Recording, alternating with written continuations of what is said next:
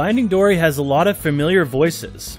Ellen DeGeneres plays the title role, alongside Ed O'Neill, Albert Brooks, Idris Elba, Bill Hader, Diane Keaton, Eugene Levy, Kate McKinnon, and Sigourney Weaver, as the voice welcoming visitors to the Marine Life Institute.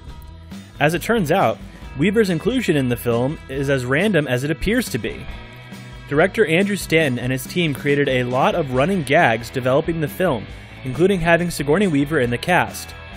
According to Stanton, I thought it was hilarious that you would hear a celebrity voice. She narrates a bunch of nature footage documentaries I own, and she's also the voice of the Arts and Science Museum here in the Bay Area. Just the way her name sounds, it's so unique, it cracked us up. Interestingly enough, Weaver wasn't involved with the movie at all at that point, so Stan took precautions to ensure her scenes wouldn't be cut from the film.